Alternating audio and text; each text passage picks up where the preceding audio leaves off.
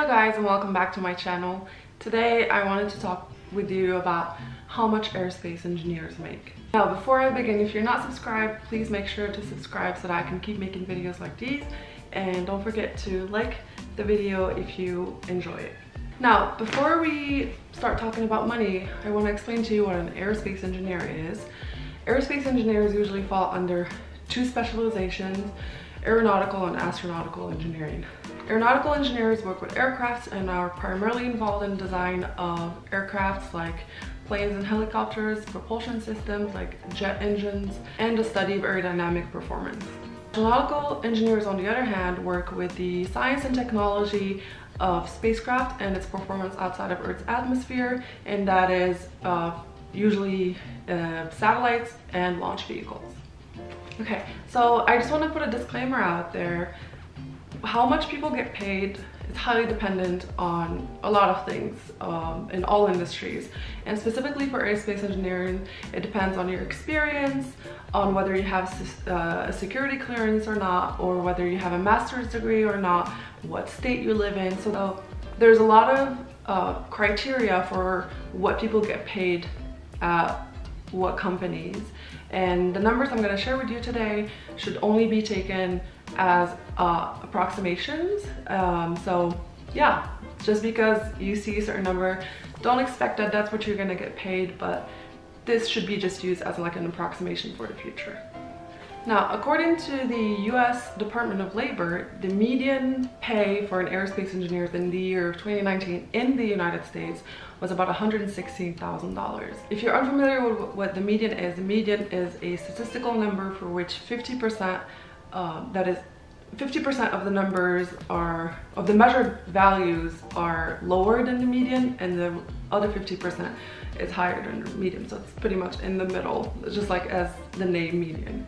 Now, if you look at this table, it shows that the lowest percentile in the year of 2019 made about $72,000 and the highest percentile made about $166,000.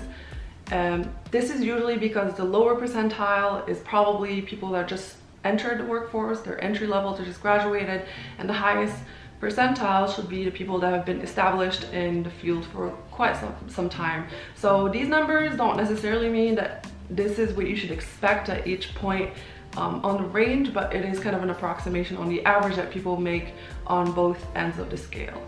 So here's another plot that kind of shows how much aerospace engineers make in comparison to other engineers. So as you can see, aerospace engineers engineers overall do make a lot more than other engineers um, and they definitely make much more than other occupations. So all occupations you see on the plot is just the total of every single occupation that's in the United States.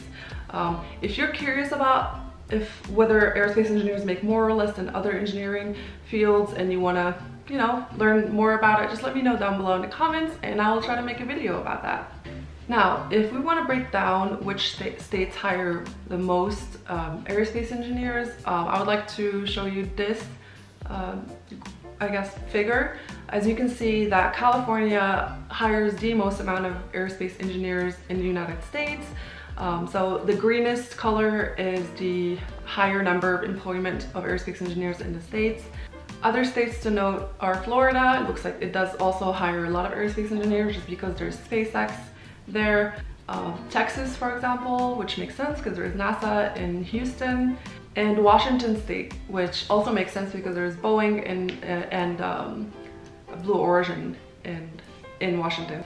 Now, next we would like to focus on the highest paying states for aerospace engineers. As you can see from the plot, this figure is quite similar to the other plot before that. Um, it looks like DC or District of Columbia is the highest paying for aerospace engineers, which makes sense because there's a lot of government work there. And Maryland also pays a lot for aerospace engineers. Um, and that's because Goddard NASA is there and there's a lot of requests um, for aerospace engineers and aerospace contractors. Now, it's important to note that uh, for states that hire the most aerospace engineers, that usually means that it is the most saturated as well. Now, with all that being said, I'm, i bet you're wondering, well, if some states pay more um, than other states for aerospace engineers, why don't all aerospace engineers go to those specific states? Why do other ones work in states that don't pay as much? For example, me, I work in Arizona, um, but I'm glad you asked and here's why. So although some states pay much more than other states, unfortunately, uh, not all states in, the, in, in, America are made equally.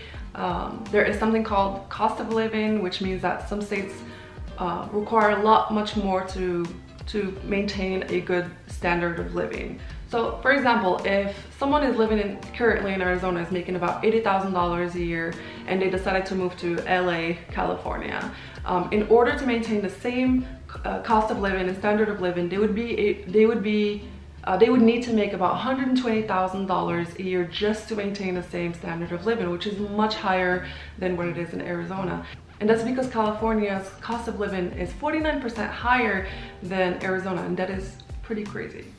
So technically, if you remember the range from the figure that I showed you earlier, it showed that the range for aerospace engineers in Arizona is between $102,000 and $110,000, while the range for uh, the state of California is between $120,000 and $140,000. So if we do a conversion between the standard of living of Arizona and California, in order for someone in the range of $102,000 to $110,000 to maintain the same standard of living, they would need to make in California about $150,000 to $163,000, which is much much higher than what the range for Cal California is. So technically if you're working in Arizona as an aerospace engineers you are making more than what people are offered in California because of this thing called the cost of living.